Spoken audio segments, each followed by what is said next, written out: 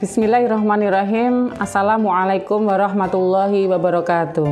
Barakallah Paut Itin Nuridaya Surakarta, milad yang ke-17. Semoga semakin berkualitas. Tetap aktif dan ceria di masa pandemi, mendampingi pendidikan anak usia dini. Tetap bersemangat mengawal generasi hebat untuk Indonesia Jaya. Wassalamualaikum warahmatullahi wabarakatuh.